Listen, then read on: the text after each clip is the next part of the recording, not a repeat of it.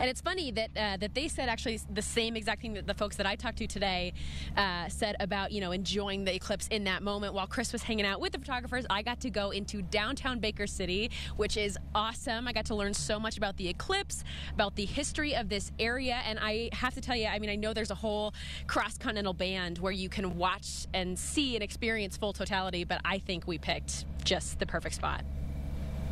Baker County, Oregon's open spaces and skies make it a pretty good spot to catch a major astronomical event. But the nice thing is, you'll have a really great view just about anywhere here in the in the valley floor as well. So good that the county's population of 16,000 is expected to temporarily double this weekend. Um, and we're probably going to be about 35,000 people countywide. Come for the eclipse, stay for a tour of Baker City's small historic downtown. So we had two opera houses here. This is where you got your, your French dress from Paris and all of that. So this hotel, when you understand that past, this hotel makes sense that it's here. The Geiser Grand Hotel opened in 1889.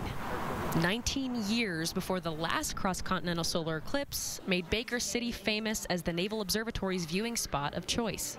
The hotel has been preparing for this one for a while now. Over three and a half years ago, a guy came to the front desk wearing some kind of eclipsey t-shirt and he says, you don't know what's going to be happening to you, let me tell you. They've been completely booked for two and a half years. This is the biggest tourism event of the century.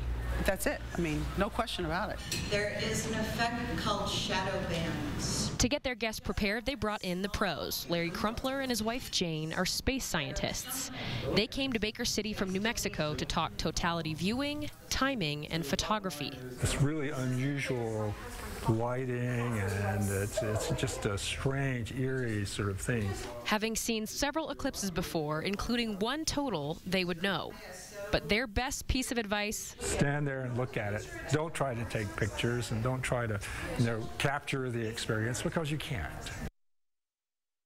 We will keep that in mind tomorrow. I got to tell you, the best part about this town is the amount of Eclipse merchandise. There's like custom, a brew pub has customized glasses. Yeah. There's like a buy a shirt, get a free pair of glasses deal.